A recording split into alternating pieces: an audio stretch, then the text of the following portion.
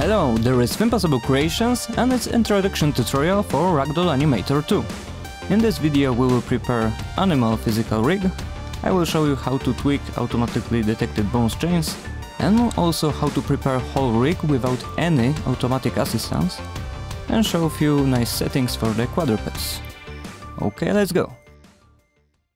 So first I will add the model on a scene, it's Boar made by Blink, and add Ragdoll Animator 2.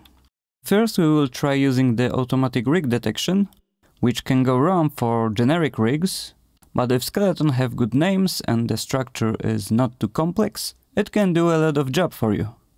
To make automatic detection a bit more effective, we can provide the hips bone. Thanks to that, algorithm will not need to guess which bone is hips, so there we have it. And it says that it recognized the model as humanoid, which clearly it's not humanoid, it's quadruped, but it looks we have all chains ready, like core, arms and legs. Let's take full look on it, and it seems right. Now let's check colliders. And yeah, it applied humanoid script for the headbone collider size, so we need to tweak it manually.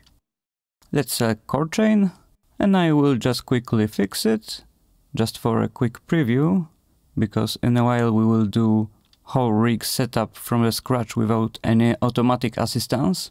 But here I want to show how quick you can set up the rig when automatic detection is finding all bones chains properly.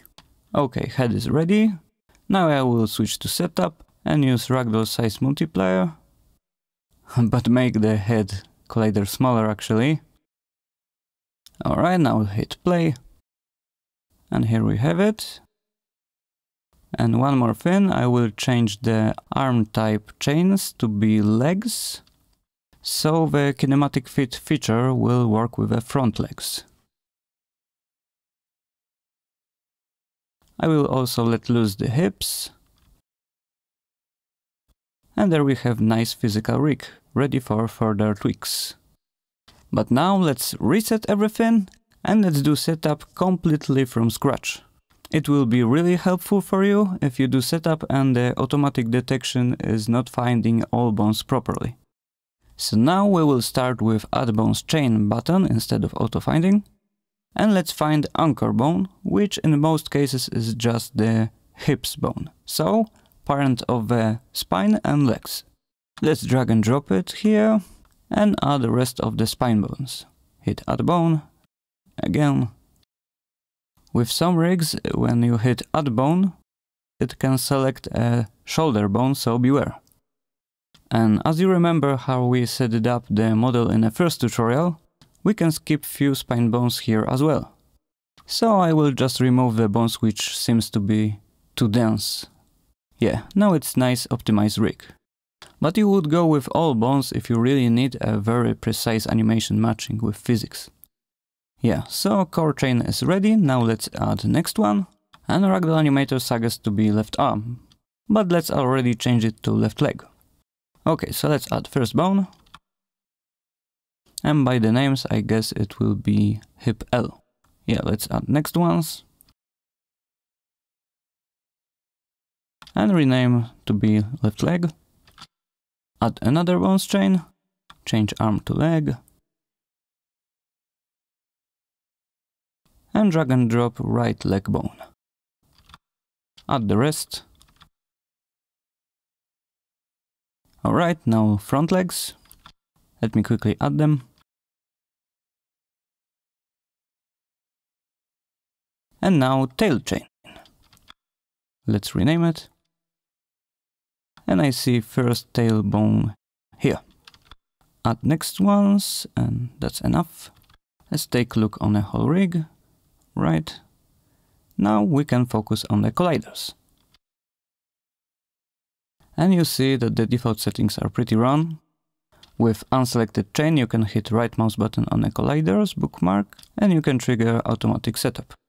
Yeah, it did initial setup for us, but if you would like to make automatic setup just for one chain, you can select it and then hit right mouse button on the colliders bookmark button. You can also trigger automatic setup for a single bone by hitting right mouse button on the collider icon. Okay, now I will quickly adjust colliders, the same way we did it in the first tutorial.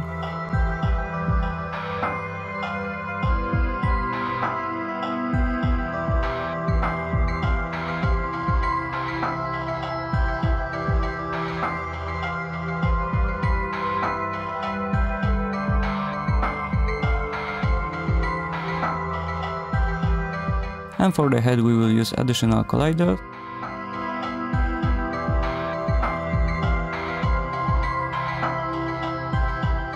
Now it's turn for the legs.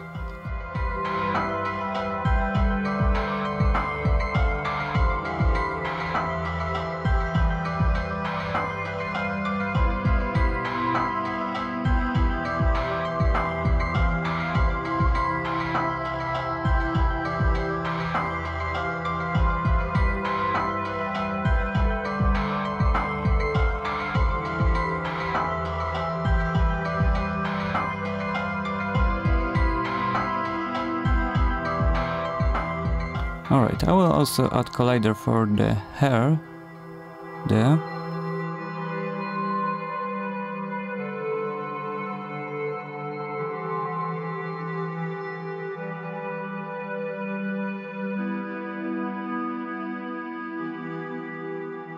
Okay, it's almost ready. Now let's ensure that mass values are not crazy somewhere. Let's check legs. Okay, this one to one. Oh, this have four. So let's actually tweak the first leg bone to be a bit different. Here more. Okay. Now front. A bit less. There too. Now tail. Oh, tail have a bit too much mass. So let's use the slider. Around here. Okay, and now core yeah, it needs a bit more mass for the other bone, so let's tweak it. Right. Let's change reference mass to be bigger, actually, and test it. Okay, it's reacting as intended, but let's apply some settings like kinematic fit. And let hips loose. And let's support it a bit with hard matching. There we have nice physical rig. Now you can move it around, rotate, hit tail, tweak all individual settings to customize it more, and play animations. If you still want to keep keyframe animations intact and blend Ragdoll Animator only when it's needed, you can try using Blend on Collision feature and you can eliminate the front feet overlapping with the floor if you enable apply positions and use all spine bones in a chain.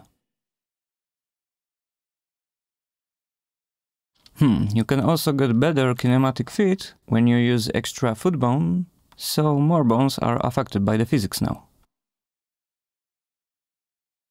And last thing, you can enable position hard matching. It can also improve animation match, but it will make bones more stiff. Okay, that's all for this tutorial. In the next ones we will focus on uh, play mode physics settings. I hope this video was helpful for you. Leave a like, subscribe for more. Thank you for watching and see you next time. Bye bye.